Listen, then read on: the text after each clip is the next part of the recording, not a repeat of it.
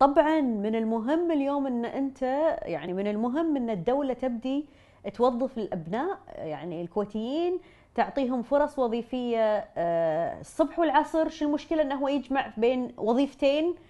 آه، أيضا أنت اليوم التكويت في بعض المناصب الحساسة ما تتحمل إن أنا يكون عندي غير كويتي وهذا في الدول المتطورة تسويه في جهات معينة خصوصا في القضاء أو في الوظائف الحساسة.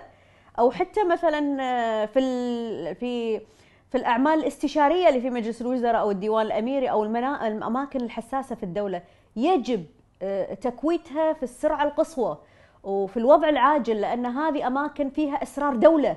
فمو صح إني أنا اليوم آه، ما يكون اللي متقلد هذا المنصب يكون مثلا ابن هذا البلد وبالعكس عشان ال security وال safety في الدولة لازم تكون هذه الأمور تحت أيادي ناس كويتيين. إحنا نرحب في غير الكويتي في الوظائف مثلا العادية وإذا كان في اكتفاء آه، من الكويتي وخذ وظيفته بالعكس بعدين نفتح المجال حق العموم إنه هو يبدي يدخل بهذه الوظائف.